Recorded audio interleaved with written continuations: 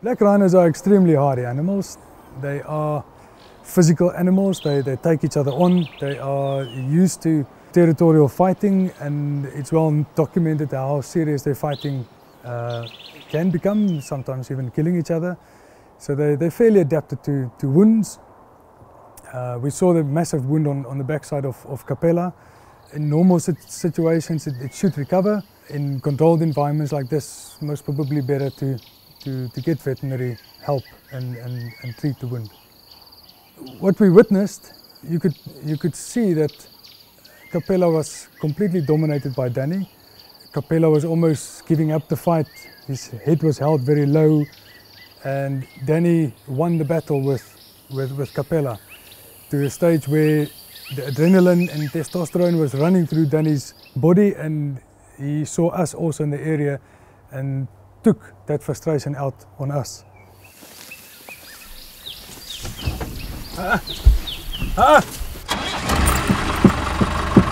Ah.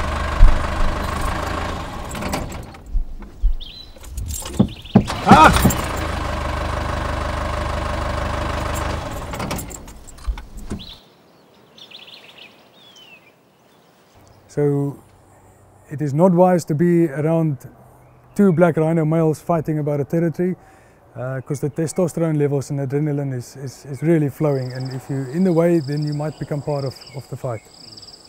Black rhinos in, in nature are extremely territorial. These guys are both about seven years old at the moment and they are starting to establish their territories. Uh, as you know that they were in separate, on two separate reserves and they met on a fence line uh, about a week ago and they started wrestling through the fence up to a stage where the one actually got through the fence and they met up in the same area.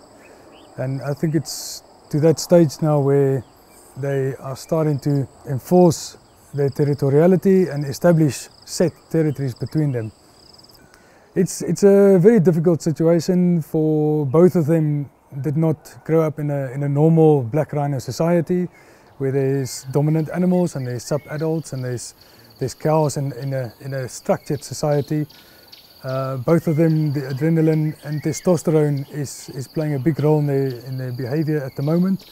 And I think they're also slightly unsure of how to deal with situations. They, they know that they need to establish territories and become dominant, but they, there's no role models that can actually show them how it's done.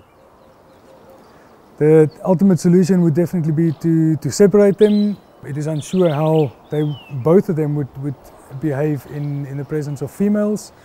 Uh, that, that is a, a sensitive issue that uh, I'm not sure exactly how, how they'll deal with it. there's, there's a chance that it might work and they settle in, form territories and reproduce like normal black rhinos, but there's also a, a definite chance of, of either, either the cow or the bull killing each other once you introduce cows.